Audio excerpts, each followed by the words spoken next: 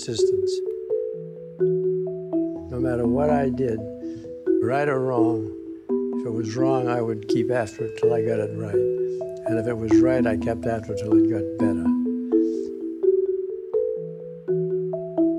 You know how many hours a day you practiced. I used to do six to eight hours every day, nonstop. And the day before I auditioned for the Boston Symphony, I played nonstop 14 hours.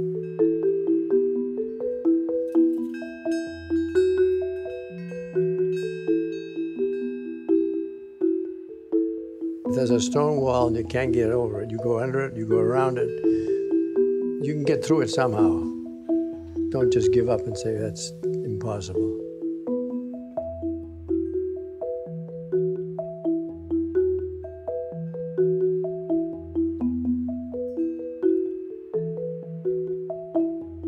There's always room at the top for quality. No mm-hmm. matter how crowded it is, there's always room. Believe in yourself and do everything that justifies your beliefs, whatever that might be.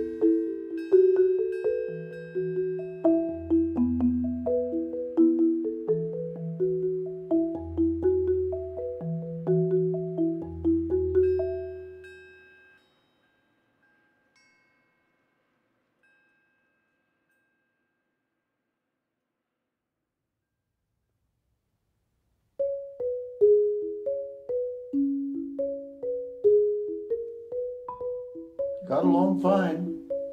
And we won the next national contest in spite of me being first baritone.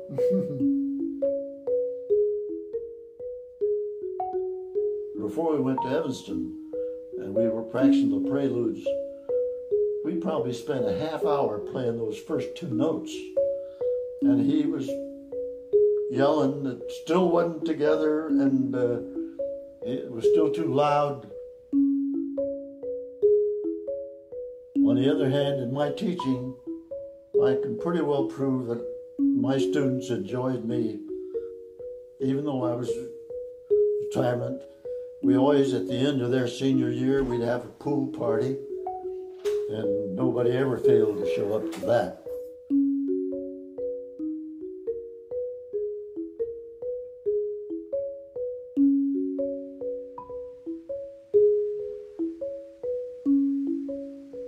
Where did you learn to play the tuba? Huh? Where did you learn to play the tuba? It's not a tuba, it's a, it's a baritone. Baritone. A tuba is uh, very big on the bass. Yeah. Very interesting. I started in school. Mhm. We have an orchestra there. So the first thing I was playing a tuba. But it was a smaller instrument, a smaller tuba. So yeah, I played one year as a tubist, tuba. In the second year, I was changed to baritone. Mm-hmm. That was all the way back when you were in when you were in school when you were a Yeah. teenager. And when I came to America, the first time I used to have, yeah, I, I, I don't remember how did, did I have it. But in Canada, when we lived, I take a part in, in, uh, in an orchestra. Uh-huh. Every Sunday we used to play uh, out there in the park. Oh yeah. On the Yeah. bandstand? Yeah. That's nice.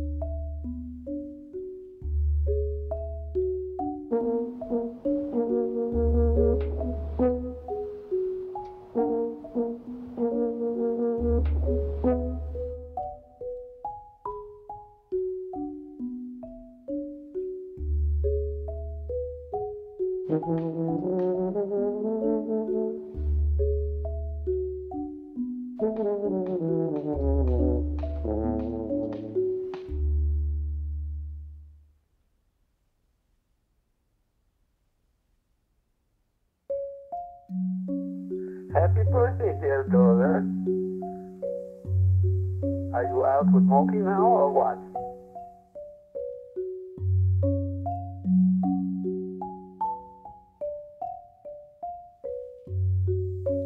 Happy New Year, dear girl.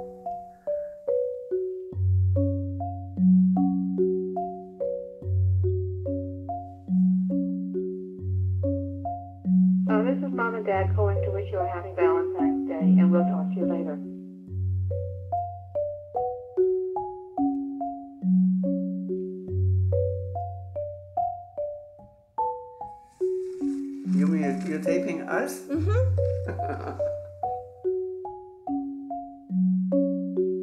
Here, these people, this man can get to be a hundred years old and look at this picture and still enjoy. That's his family. He would, he would never forget that. But you see the, the uh, point that all these people, you can see, you know exactly what they look like, even when they're, some of the faces are turned away. If there's no reason, they're always shown in three dimension.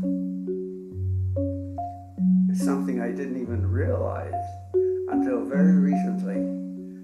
I looked at the, I, think I looked in the computer, and suddenly it dawned on me that photograph was three dimensional. Mm-hmm.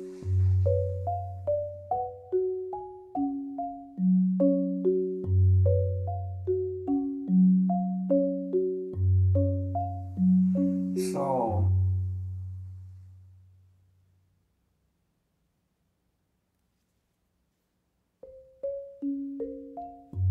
This is Nancy Zeltsman's mother. We heard the national radio interview about Marimba. I thought it was very nicely done. Love to you. Bye bye.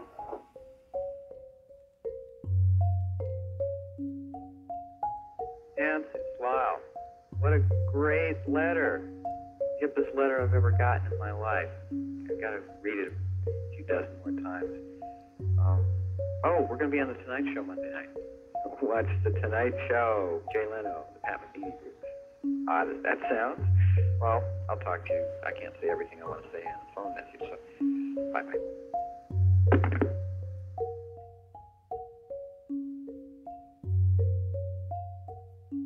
Yeah, hi, this is Ian.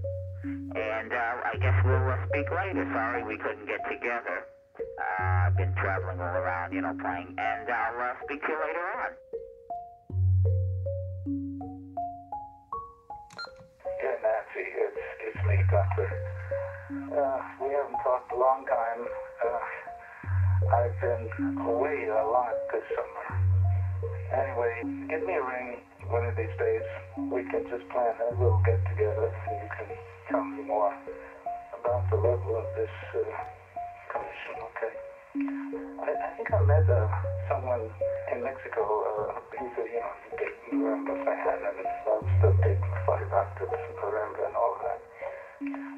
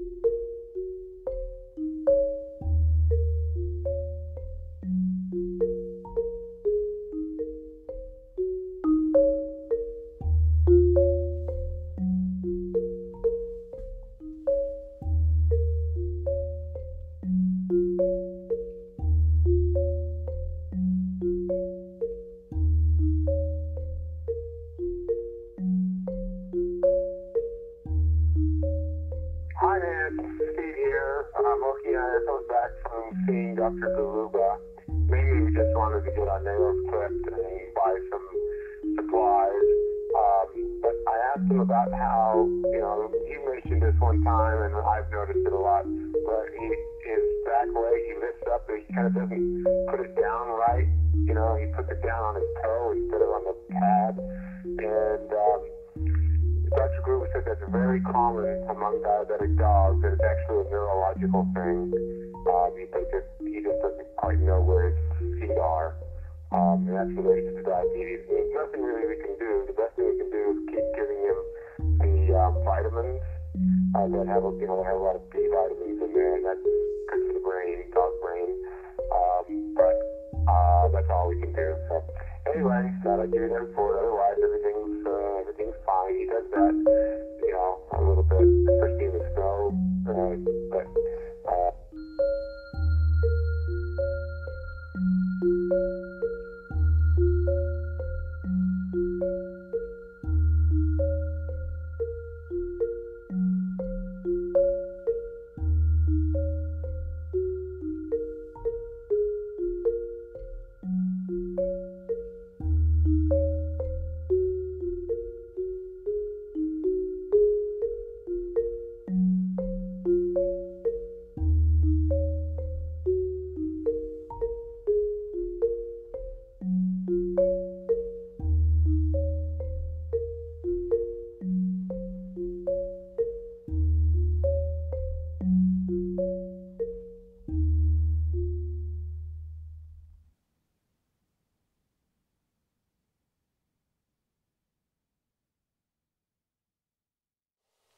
I have never written a note that I did not hear in me.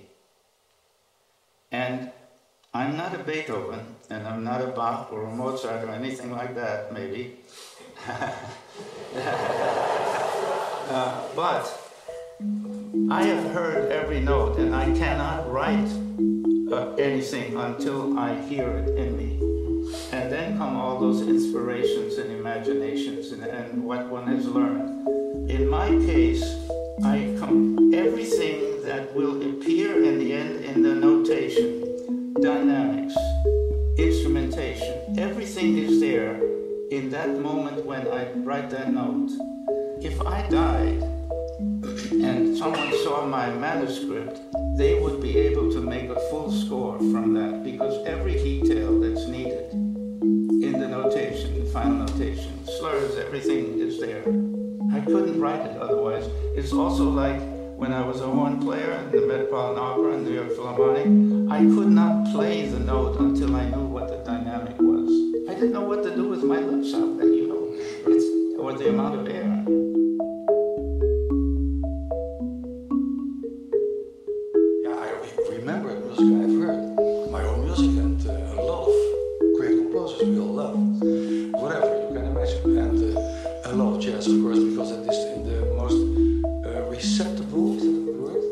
Time of your life that you were taken Yeah, impressionable. So uh, from 10 to 20, that's a very important period. What, what you start understanding, you build your character, also in music, I think. so that that is all running around all the time. And, and, and the dreams, you, know, you talked about the dreams. I have the most uh, crazy dreams about concerts, and about instruments, and about going outside, and then plötzlich there's only uh, grass and, continues all the time. So that is part of my inner ear, I would say. But what your uh, question is pre- uh, precisely the way I feel is that the idea of a piece is just a, a large object. And whatever kind of object it may be, yeah, it is sound, it's more than sound, it's color, very evident, it's length, it's a measure of, um, I won't say aggressiveness, but um, overtuiging. Überzeugung is,